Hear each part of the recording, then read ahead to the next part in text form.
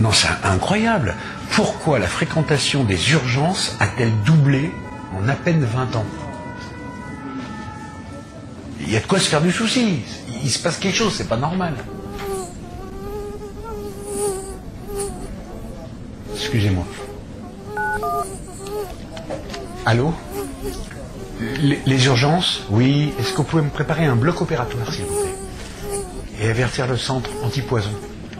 Non, parce que je vais me faire piquer par une guêpe dans quelques secondes. Merci. Vous pouvez me mettre en relation avec le GIGN, s'il vous plaît? Merci.